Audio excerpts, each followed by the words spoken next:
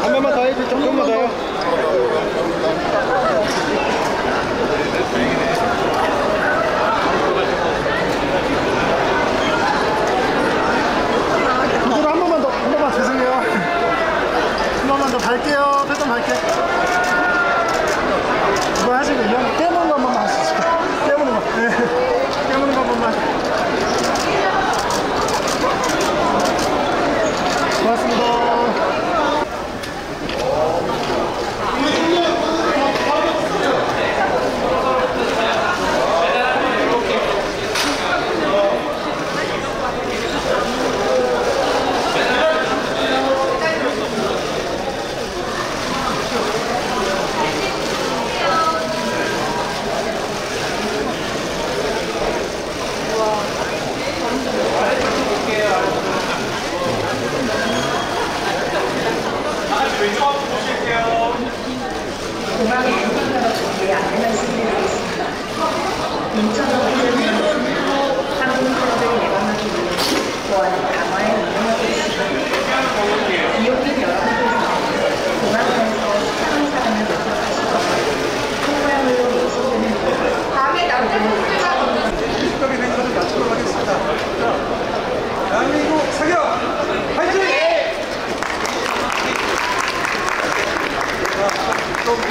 다시 한번 가겠습니다. 대한민국 사격! 파이팅! 파이팅!